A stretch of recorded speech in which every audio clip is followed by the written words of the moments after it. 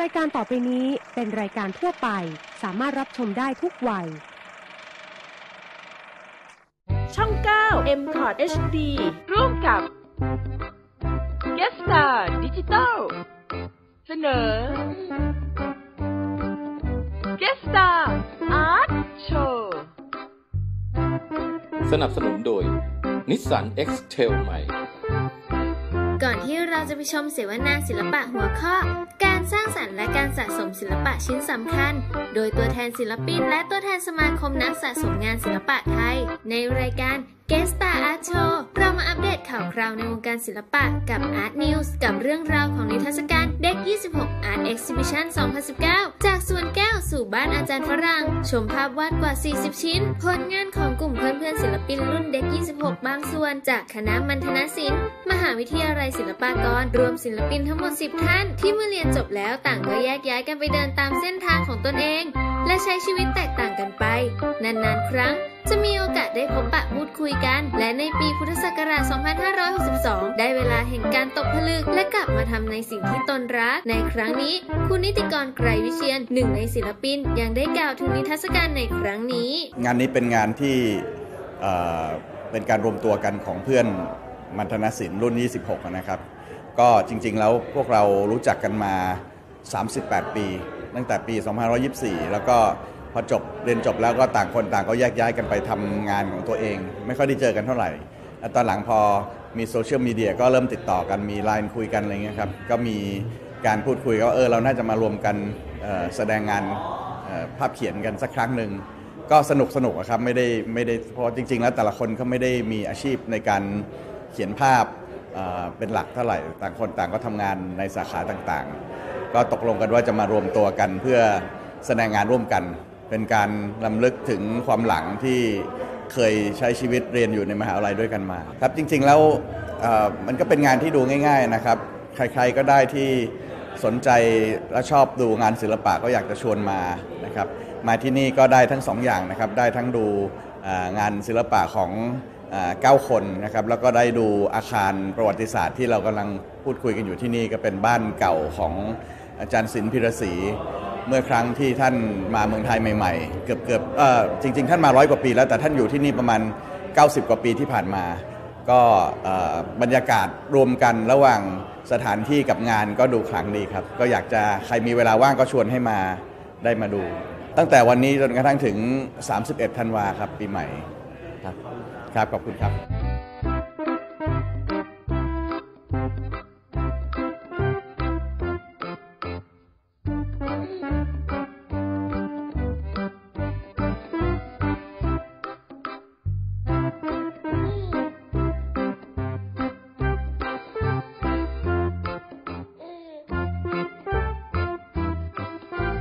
ติดตามข่าวสารวงการศิลปะได้ใหม่ใน Art News ในรายการ g u e s t a r Art Show สนับสนุนโดยสำนักงานศิลปะวัฒนธรรมร่วมสมัยกระทรวงวัฒนธรรม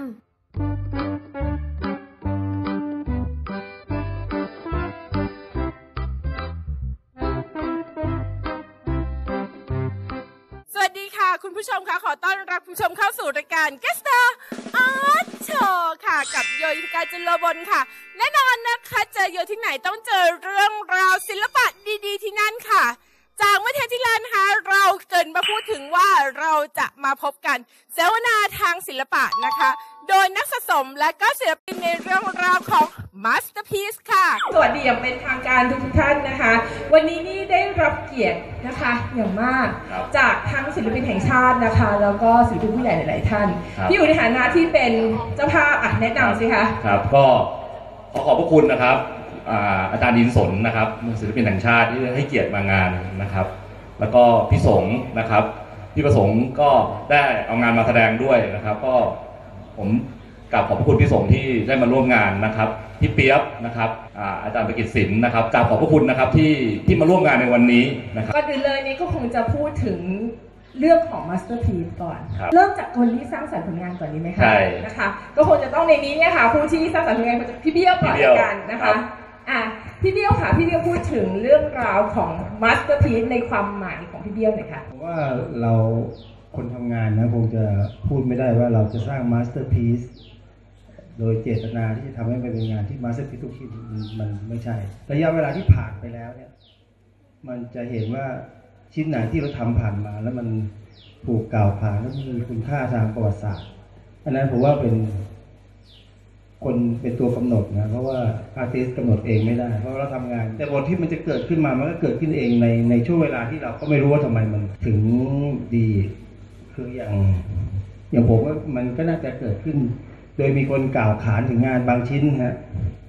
ในช่วงเวลาที่ต่างกัน ก็อาจจะมีสักสองสามสองสามชิ้นที่คิดว่าเป็น Masterpiece เลย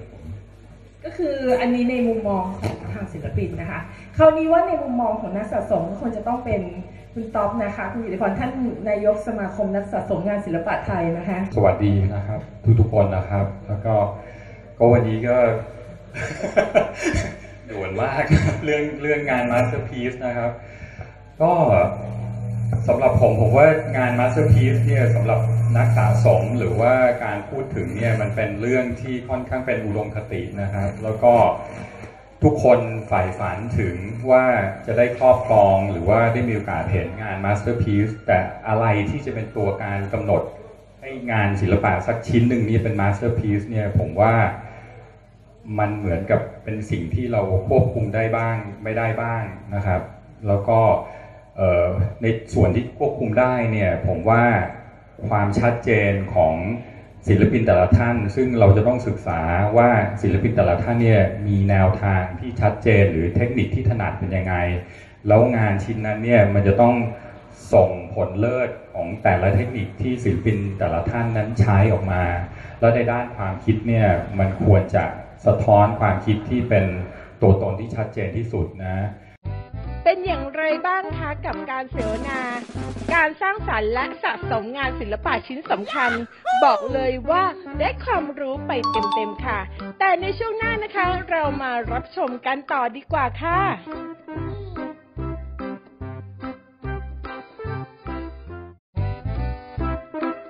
g e s t a r Art Show สนับสนุนโดยนิสสัน X-Trail ใหม่ ขอต้อนรับกลับเข้าสู่รายการ g e s t a r Art Show เรามาฟังการเสวนากันต่อดีกว่าค่ะแล้วก็แต่ประเด็นที่สำคัญคือผมว่ามันจะมีอะไรบางสิ่งบางอย่างที่มันอยู่เหนือความควบคุมของตัวศิลปินเองด้วย ซึ่งตรงเนี้ยผมว่ามันแม้แต่ตัวศิลปินเองเขาก็อาจจะอธิบายได้ลำบากนะว่า มันหลุดออกมาจาก เรื่องที่เป็น routine หรือเรื่องที่เป็นเทคนิคออกมา แล้วมันได้ผลเลิศมากออกมา แล้วที่สำคัญอีกอย่างก็คือว่าหลังจากนั้นเนี่ยกว่างานที่จะถูกเรียกว่าเป็น Masterpiece ได้เนี่ยมันจะต้องผ่านกาลเวลาผ่านการพิสูจน์ของเวลา ในที่สุดคนจะพูดถึงกล่าวขวานถึง และสิ่งที่เรียกว่า Masterpiece ถึงจะเริ่มก่อร่างสร้างตัวขึ้นมา เพราะฉะนั้น มันเป็นสิ่งที่เหมือนจอกศักดิ์สิทธิ์อะไรสักอย่างอะคือ เป็นเรื่องในฝันในอุดมคติ แต่ว่าถ้าเราเห็นถึงงาน Masterpiece แล้วจริง ๆ เนี่ยมันจะไม่มีใครปฏิเสธได้เลยว่า เออชิ้นนี้ใช่ครับ ถ้าเกิดว่าให้มองว่ามันเป็นหลักการนะคะมันจะต้องประกอบด้วยอะไรบ้างคะก็อย่างที่เรียนครับคือความเลิศทางด้านเทคนิค แล้วก็ความเป็นเลิศทางด้านแนวความคิดของการผลิตงานนะครับ แล้วก็ความพิเศษอะไรบางอย่างที่ทำให้งานชิ้นนั้นมันหลุดออกมาจากชิ้นที่เป็นงานปกติของศิลปิน อย่างมีนัยสำคัญนะนะแล้วก็การได้รับการยอมรับรวมทั้งถึงจุดจุดหนึ่งเนี่ยมันเป็นเรื่องรสนิยมในยุคหลังจากนั้นด้วยว่าทิศทางการเสพหรือการมองหรือการให้คุณค่างานศิลปะเนี่ยมันสอดคล้องกับงานที่ถูกผลิตมาก่อนเวลาหรือเปล่า เพราะว่าเพราะมันมันไม่มีใครบอกได้นะตอนผลิตออกมาอย่างที่ พี่เบี้ยวบอกเลยฮะว่าแม้แต่คนผลิตเองหรือคนเสพเองก็ก็ยังบอกไม่ได้ชัดเจนนะฮะแต่อะแต่พอเราเห็นงานบางชิ้นเนี่ยเรารู้แล้วว่างานบางชิ้นดี บางชิ้นธรรมดา บางชิ้นดีมาก แต่จากชิ้นที่ดีมากเนี่ยจะหลุดขึ้นไปถึงขนาดเป็น Masterpiece ได้เนี่ยต้องใช้เวลาครับครับ แล้วอย่างพี่อู๋ล่ะคะสำหรับความแนวความคิดในเรื่องของ Masterpiece นะคะคือโดยหลักการผมว่าที่ที่ที่คุณป๊อปพูดมาเนี่ยผมว่าก็ครอบคลุม ครอบคลุมทั้งหมดแล้วเนี่ยครับจริง ๆ แล้วผมว่างานที่เป็นมาสเตอร์พี e ของศิลปินเนี่ยก็ขึ้นอยู่กับกลุ่มกลุ่มนักสะสมงานของศิลปินท่านนั้นด้วยนะครับเป็นหลักคือเป็นแรงผลักดันนะครับ เพราะว่ากลุ่มนักสะสมของศิลปินเหมือนกับเป็นแฟนคลับอย่างเงี้ยคือสนใจงานในยุคไหนนะครับในเทคนิคแบบไหนในช่วงอายุเท่าไหร่ที่เป็นช่วงพีคเราเราปฏิเสธไม่ได้ว่าศิลปินเนี่ยจะมีงานพีคตลอดเวลา ผมว่าผมว่าไอ้เรื่องเนี้ยในกลุ่มนักสะสมเราเนี่ยได้มีการคุยกันเหมือนกันว่าโอ้ยช่วงนี้นะงานดีมากนะครับ ผมขอยกตัวอย่างพี่สงแล้วกันผมขอยกตัวอย่างพี่สงขออนุญาตนะครับพี่สงว่าว่าเราเห็นงานพี่สงมาตั้งแต่ยุคโอ้โหสมัยก่อนเมื่อสีฝุ่นหรือยังไงอย่างเงี้ยจนพี่สงมาทำปัจจุบันเป็นสีน้ำมันอย่างเงี้ยตอนยุคสีฝุ่นผมว่าคนเห็นยุคสีฝุ่นของพี่สงก็อาจจะคนที่แบบ สายตายาวจริง ๆ แบบโหแบบซื้อเก็บไว้อะไรอย่างเงี้ยตอนนั้นคนก็อาจจะรู้สึกธรรมดาอะไรอย่างเงี้ยสมมติ collector เพราะว่าพี่สงมาทำงานอย่างนั้น แต่ว่าพอนะฮะเวลาผ่านมาถึงวันเนี้ยอย่างเงี้ยผมว่าคอลเลกเตอร์ทุกคนย้อนกลับไปเห็นงานพี่สงยุคนั้นอย่างเงี้ยก็โอ้โหแบบทำไมเราถึงตามไม่ถึงอะไรอย่างเงี้ยนึกออกไหมครับ ตามไม่ถึงคิดไม่ได้ ท้ายที่สุดผมเชื่อว่าแต่ละยุคของศิลปินที่ดีเนี่ย จะต้องมีงาน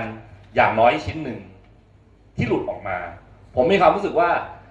เราจะมาบอกด้วยคำพูดเนี่ยผมว่ามันบางทีมันบอกยาก แต่ผมถามว่าวูดอย่างเงี้ย เสร็จแล้วแล้วเขาพูดว่า สมบัติที่เขาได้จากตระกูลเขาทั้งหมดเนี่ย คืองานชิ้นนี้ที่คุณทวดเขาเก็บมาไว้ ผมว่าชิ้นนั้นก็อาจจะเป็นชิ้นที่แบบโอ้โหทั้งโลกพูดถึงพอดีโดย ไม่ไม่ได้มีใครตั้งใจนะครับ ผมว่าไอ้เรื่องแบบเนี้ย มันก็อาจจะเกิดได้ตลอดเวลา มันมันก็คงเป็นที่อาจจะเกิดได้เพราะ marketing แต่ผมว่าทุกชิ้นที่นักสะสมซื้อไป ผมว่าทุกคนก็ต้องมองว่างานที่ตัวเองซื้อไป เป็นงานที่ดี และมีโอกาสทะลุไปได้นะครับก็ก็ประมาณนี้ครับสุดท้ายพี่เบี้ยวค่ะในฐานะที่เป็นศิลปินที่ช่วงปลายแล้วนะคะพี่เบี้ยวเราแนะนำวิธีการทำงานให้กับน้องๆหลายๆในนี้ในนี้มีหลายคนที่น้องๆหลายคนนะคะ ในการทำงานยังไงให้งานของตัวเองก้าวขึ้นไปสู่ Masterpiece ได้ค่ะผมว่าจริงใจในการทำงานแล้วก็น่าจะเป็นบทหลักเลยนะเพราะว่าเราถ้าเราทำงานด้วยความจริงใจผมว่าไอ้หลาย ๆ อย่างเรื่องการ control ความงามเอกภาพอะไรพวกที่ที่เราเรียนเรียนกันมาเนี่ยมันก็จะออกมาเอง คงแนะนำอะไรเรื่องเรื่องอย่างอื่นคงคนอื่นอาจจะเก่งกว่าผมอย่างเช่นการใช้ชีวิตหรืออะไรอย่างเงี้ยนะฮะแต่ ผมว่าเราใช้ชีวิตอย่างธรรมดาที่สุดมันจะเดือดร้อนน้อยแล้วก็ไม่ไม่ไม่มีการต้องดิ้นรนไปหาเงินแล้วเราจะทำงานอย่างสงบผมคิดว่างั้นครับค่ะนะคะคราวนี้นี่เปิดโอกาสให้ข้างล่างดีบ้างางดีไหมคะสำหรับคำถามนะคะใครมีคำถามที่อยากจะถามบ้างไหมคะสำหรับอ่าที่อยู่ด้านล่างนี้ค่ะ มีไหมคะ คือถ้าถามเราจะถ้ามีถามไหมก็ไม่ต้องเกรงใจนะครับฉันเพราะไม่ว่าต้องเกรงใจไม่ต้องเกรงใจวันนี้ผมไม่ว่าถูกค่ะผมว่าวันนี้มีนักสะสมแล้วก็มีศิลปินมาคืออยู่ด้วยเป็นคนซื้องานอะนะครับเพราะว่าผมว่าถ้าศิลปินท่านไหนที่แบบอยากมีคำถามอะไรอย่างเงี้ยผมว่าก็อยากให้ได้ประโยชน์ค่ะ จริงๆนะครับ วันนี้คุณต๊อปผมว่าคือคนหนึ่งที่ที่ที่ให้ให้ข้อคิดได้อะที่ดีเลยสำหรับผมที่ผมดูวันนี้นะค่ะจริงๆเอ่อ ผมก็ไม่เคยคิดว่าวันหนึ่งผมจะมาจัดงานศิลปะนะครับ แต่ว่าเหมือนผมเหมือนผมสะสมงานศิลปะใจเราอะจิตเราหรือ หรือในจิตวิญญาณเราอะเรารู้ว่าโอ้โหชิ้นนี้มันแหมมันดูแล้วมันแบบมันแทงใจเราหรือมันโดนใจเราเหลือเกินอะไรอย่างเงี้ย ผมว่างานชิ้นนั้นแหละมีโอกาสที่เป็น Masterpieceคราวนี้ต้องถามคุณสุชาตินะคะแคร์ไหมในการเก็บงานที่ต้องเป็น Masterpiece เสมอ ในฐานะนักสะสม ผมคิดว่าไม่ใช่หน้าที่ของนักสะสมจะเป็นคนบอกว่า อันนี้มันมาสเตอร์พี e หรือไม่ใช่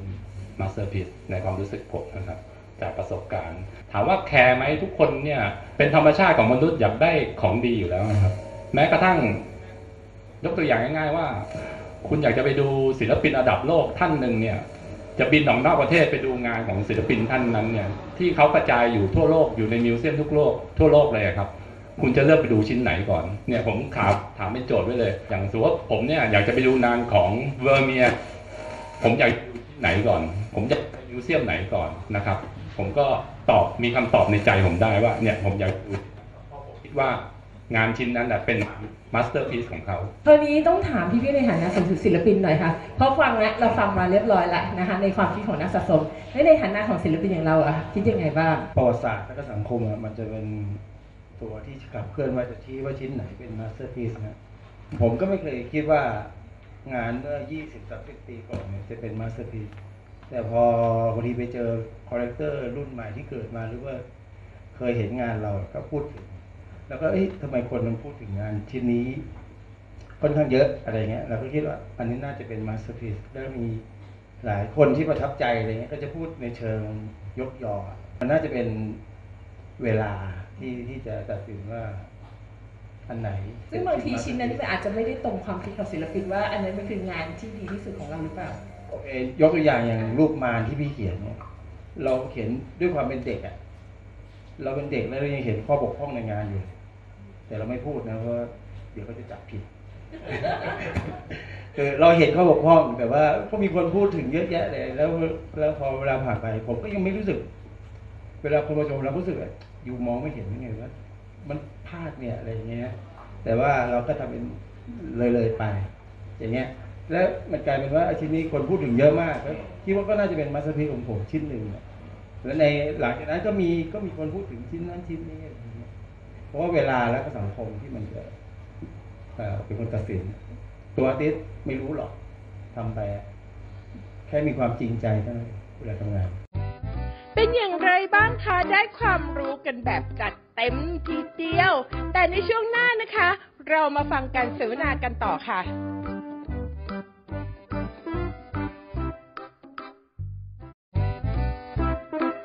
Guest Star Art Show สนับสนุนโดยนิสสัน X-Trail ใหม่ ขอต้อนรับกลับเข้าสู่รายการ Guest Star Art Show กับช่วงสุดท้ายของรายการ เราไม่รอช้าไปฟังความรู้ทางด้านศิลปะกับการเสวนากันต่อค่ะพี่ต้องคะในฐานะที่เก็บนานเนะคะมีการแบ่งยุคยังไงของศิลปินบ้างไหมคะก็คงคล้ายๆก็คือยกต้นก็คือพวกศิลปินหน้าใหม่ไฟแรงใช่ไหมที่ยังอาจจะยัง เริ่มค้นหาเทคนิคตัวเองอยู่ยังค้นคว้ายังทดลองแล้วมีพลังอย่างเหลือเฟืออยู่ในแต่ในเชิงเทคนิคอาจจะยังไม่ค่อยเข้าที่หรือกลมกล่อมเท่าไหร่ใช่ไหมแล้วก็เลยมายุคยุคกลางก็อาจจะเริ่มชัดเจนช่างชองในเชิงเทคนิค แล้วก็จับแนวทางของตัวเองเริ่มชัดแล้วใช่ไหมพอยุคปลายเนี่ยจะเป็นยุคที่เริ่มประสบความสำเร็จ เริ่มเป็นที่รู้จักแล้ว แล้วก็ พลังในการทำงานเนี่ยจะเรี่ยวแรงอาจจะเวัยหนุ่มอาจจะมีพลังมากกว่าอะไรอย่างเงี้ย แต่ว่าตัวเทคนิคตัวความคิดเนี่ยก็คือเอาอยู่แล้วก็แม่นแล้วอะก็ก็ประมาณเนี้ยครับ คือสำหรับผมผมมองว่า ผมดูเรื่องการใช้ชีวิตด้วย คือคนที่จะเกิดมาเป็นศิลปินอะ คือไม่ใช่ว่าคุณสักแต่วาดรูปคุณมีฝีมือ คือผมว่าฝีมือมันฝึกกันได้ มันฝึกกันได้ทักษะเนี่ย ผมว่าโดนฝึกมาตั้งแต่ ตั้งแต่ตอนเด็กเลย แต่ว่าถ้าการใช้ชีวิตของคุณเนี่ยไม่ได้เกิดมาไม่ได้บอลทูบีไม่ได้เกิดมาเป็นศิลปินจริง ๆ โอกาสก็จะยาก และการเกิดมาเป็นศิลปินจริง ๆ ในเมืองไทยอย่างที่ต๊อปพูดเนี่ยโอ้โหมัน คือคุณต้องผ่านอุปสรรคในชีวิตอะผมว่าน้อยคนมากเลยที่จะมีโอกาสประสบความสำเร็จตั้งแต่ยังยังเด็กยังเรียนอยู่ครับ ซึ่งถึงแม้ว่าประสบความสำเร็จตั้งแต่ยังเด็กยังเรียนอยู่ แล้วคุณหลงละเริง มันก็ไม่ใช่ว่าเอ้อนาคตคุณจะประสบความสำเร็จ เพราะฉะนั้นผมว่ามันไม่ได้เป็นเรื่องการันตีได้ว่า โอ้โหถ้าคุณประสบความสำเร็จแล้ว แล้วคุณจะมีแต่ก้าวไปข้างหน้า มันไม่ใช่ ผมว่ามองถึงว่าการใช้ชีวิตด้วยนะครับ แล้วก็การทำงานด้วย ศิลปินผมว่าต้องมีระเบียบวินัยตัวเอง ต้องทำงานจริงๆจังๆอันนี้เนี่ยคุณสุชาติล่ะคะ ถ้าเกิดว่าจะมีเลนส์ของการเก็บงานนะคะ ยุคต้นยุคกลางยุคปลายเนี่ยจะเลือกเก็บอะไร ก่อนอันดับแรก ส่วนตัวเนี่ยผมใช้ความความชอบเป็นหลัก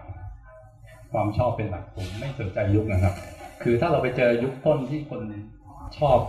ชอบเก็บกันอย่างเงี้ยแล้วโหเป็นงานดีมากอะไรเงี้ย แต่เราไปดูแล้วเราไม่ชอบ ก็ง่ายๆเราซื้อทำไม เออ เราซื้อมาทำไมเพราะเราซื้อมาต่อให้เราซื้อมาได้ครอบครองได้ เราก็ไม่ได้แขวนดู เราก็ไม่เสพเจอใครเราก็ไม่อยากจะไปนำเสนอว่าโอ้โหเนี่ย มันเป็นงานที่ดีอย่างนู้นอย่างนี้นะครับเอออันนี้ก็ชัดเจนนะครับนะคะเป็นยังไงบ้างคะสำหรับครั้งนี้นะคะ ก็คิดว่าก็ได้ความรู้นะคะ แต่ละคนอย่างกว้างขวางเลยครับผมผมอาจจะฝ่ายอีกเรื่องหนึ่งผมว่ามาสเตอร์พี e บางครั้งมันอาจจะเกิด โดยไม่มีใครรู้นะครับ แล้วก็ผมว่าโดยเราไม่ตั้งใจ แต่ผมคิดว่าศิลปินที่จะทำงานอะ ผมเชื่อว่าศิลปินต้องทำงานทุกชิ้นให้มีโอกาสเป็นมาสเตอร์พี e นะครับ เพราะว่าเราผมเชื่อว่าท้ายที่สุดเนี่ยในท้ายที่สุดเนี่ยในโลกปัจจุบันเนี่ยมันหนีไม่พ้นเรื่องการตลาด มันอาจจะมาด้วยมาสเตอร์พี e ด้วยวิธีไหนโดยไม่รู้ ผมผมอาจจะยกตัวอย่างสมมุตินะครับ สมมุติแค่เป็นเรื่องสมมุติลอยๆ ขึ้นมา สมมุติว่าผมเป็นคนเลือกซื้องาน ก็ทุกชิ้นที่ผมซื้อเนี่ยก็เป็นเรื่องก็เป็นชิ้นที่ผมชอบ เป็นชิ้นที่ผมรัก แต่วันหนึ่งเนี่ยสมมุติว่า หลานรุ่นหลานหรือรุ่นเหลนของผมเนี่ย ได้เป็นแชมป์โลก อะไรก็ตามที่มีชื่อเสียงมาก ยกตัวอย่างไทยสักระยะหนึ่ง เราควรจะทำประโยชน์อะไรบ้างให้กับให้กับชุมชน ให้กับท้องถิ่นนะครับ เพราะจริงเราก็ออกมาอยู่ขอบขอบเมืองเหมือนกันอยู่ในอำเภอสารพีนะครับ แล้วก็อยากจะทำให้มีกิจกรรมที่มันเป็นศิลปะ ให้มีความความสัมพันธ์เกี่ยวเนื่องกับชุมชนนะครับ ถ้าเราจัดงานขึ้นมาเนี่ย ผมคิดแต่จะเพาะขาย ผมเชิญเฉพาะนักสะสม ผมเชื่อว่าเฮ้ยแล้วศิลปินล่ะ ผมก็เลยคุยบอกว่างานที่ผมจัดวันเนี้ย ผมอยากให้ศิลปินเป็นหลัก ผมก็ปิดโรงแรมแล้วผมก็บอกว่า ผมอยากให้ศิลปินทุกคนมา เพราะผมรู้ว่าเรื่อที่ผมพูดว่า ผมอยากให้ศิลปินได้มีโอกาส มาเจอกันมาคุยกันนะครับ แล้วก็อยากให้ศิลปินรู้สึกว่าเฮ้ยศิลปินไทยเนี่ยเป็นอาชีพที่มีเกียรติมาก ๆ ในสายตาของพวกเรานะครับ เพราะฉะนั้นก็ก็เลยบอกอาจารย์อาจารย์คุยกับพี่เจงในฐานะที่เราปรึกษากันเราอยู่ ผมกับพี่เจงก็เหมือนพี่น้องกัน ก็บอกว่าเฮ้ยถ้างั้นเราก็ตั้งใจทำให้ดี เพราะไหน ๆ จากที่เราคิดเล็ก ๆ แล้ว มันบานปลายมาขนาดนี้ก็ งานก็ออกมาเป็นอย่างที่เห็นนะครับ แล้วก็ผมเชื่อว่าถึงแม้เราจัดงานครั้งนี้ก็คงไม่สมบูรณ์ร้อยเปอร์เซ็นต์คงมีขาดตกบกพร่องบ้าง แต่เนี่ยเป็นความตั้งใจจริง ๆ จากผมที่จัดงานครั้งนี้ขึ้นมา แล้วก็อยากจะตอบแทนศิลปินจริง ๆ ว่าแบบ ว่าศิลปินไทยเป็นเป็นกลุ่มคนที่มีน้ำใจที่สุดนะครับ ในประเทศนะครับ ก็ขอบคุณทุกท่านนะครับ ที่ที่มาร่วมงานแล้วก็เสียสละเวลามาร่วมงานในวันนี้ครับ เป็นยังไงบ้าง คะกับการเสวนาต้องบอกเลยนะคะว่าเลิศจริง ๆ เลยค่ะ ใครฟังรับรองได้ประโยชน์แน่ๆค่ะ วันนี้นะคะโยต้องขอขอบคุณสปอนเซอร์ใจดีของเรานะคะ บริษัทคาเท่เอลแอนส์ค่ะ ขอขอบคุณซีอาร์ติสติกค่ะ ขอขอบคุณชลิตอาร์ตสตูดิโอค่ะ ขอขอบคุณมิฟตาคลินิกค่ะ ขอขอบคุณโรงแรมเซ็นทรัลแกรนด์แอสเซนทรัลเวิลด์และแน่นอนนะคะ ถ้ามาเชียงใหม่นะคะ ต้องมาที่อาร์ตโ o เทลแห่งนี้นะคะ The Mandadi Heritage นะคะ ขอบคุณสำหรับสถานที่นะคะ และก็ที่พักดีๆ ต้องบอกว่าเลิศที่สุดที่สามโลกค่ะ ยังไงนะคะ อย่าลืมคลิกไลค์แฟนเพจของรายการ g u e s t a r Art Show และติดตามเราได้ทางช่อง 9 m c o t SD ค่ะ วันนี้นะคะ โยและทุกคนต้องลาไปก่อนค่ะ สวัสดีค่ะ